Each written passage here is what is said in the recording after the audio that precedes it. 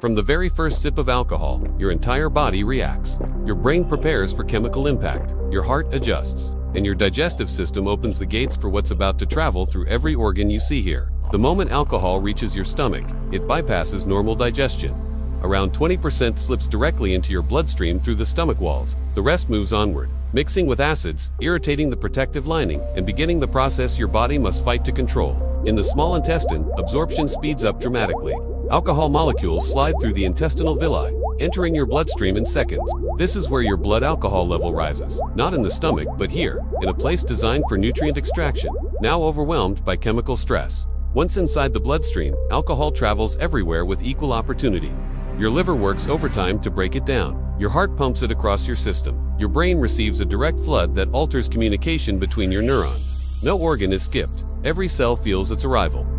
In the brain, alcohol interferes with signals that keep you balanced, coordinated, and emotionally stable.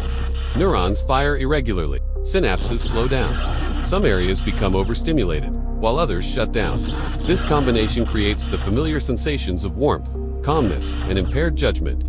Muscles begin to loosen as alcohol affects neurotransmitters responsible for tension and control.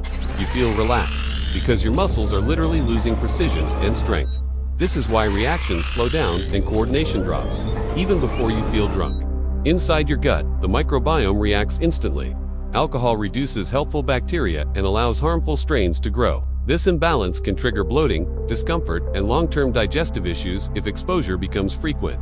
The gut is one of alcohol's earliest victims. The temporary energy boost or warm sensation you feel isn't real energy.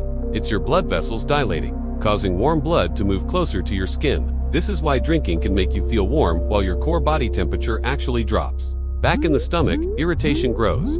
Alcohol weakens the protective mucus layer, making the tissue vulnerable to acid. This can lead to inflammation, pain, or the burning sensation many people feel after drinking, especially on an empty stomach. For some people, alcohol triggers allergic-like reactions. Skin may redden, breathing may tighten, and the body releases histamines that cause flushing. These reactions often come from impurities or additives in the drink, but the alcohol itself can make them worse. As the liver processes alcohol, it pauses glucose regulation. This causes a spike in blood sugar for some, and a sudden drop for others. This imbalance affects mood, cravings, and overall energy, and can be especially risky for people with diabetes. Hours later comes the crash. Cells lose energy, the brain slows, hydration drops.